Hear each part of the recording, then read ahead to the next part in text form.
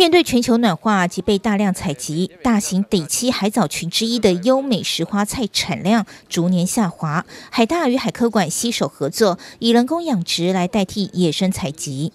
这几年常常我们在地的那个渔民会抱怨说：“哦，为什么不见了啊？那是因为被小鱼吃掉。”可是有时候明明就是没有出现那什么臭肚鱼的小鱼一样减产啊。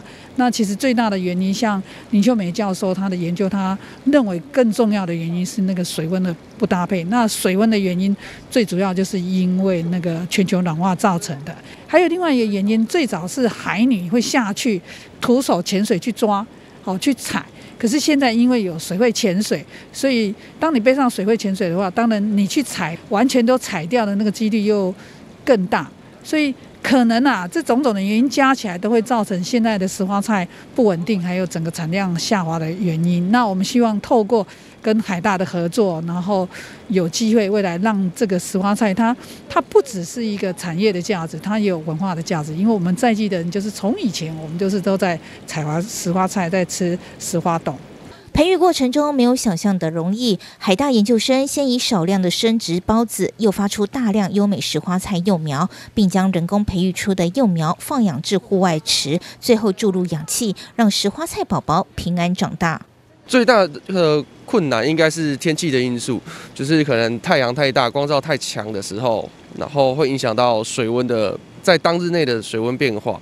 那当水温波动太大的时候，可能藻体就会有比较软化，然后甚至到白化的现象。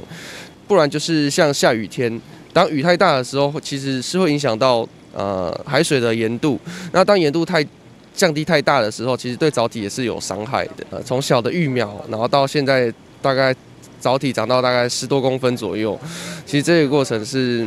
虽然说蛮有点小辛苦，但是我觉得很有成就感。优美石花菜可以完全人工养殖的方式，就不受气候影响。海科馆期待与地方产业共荣。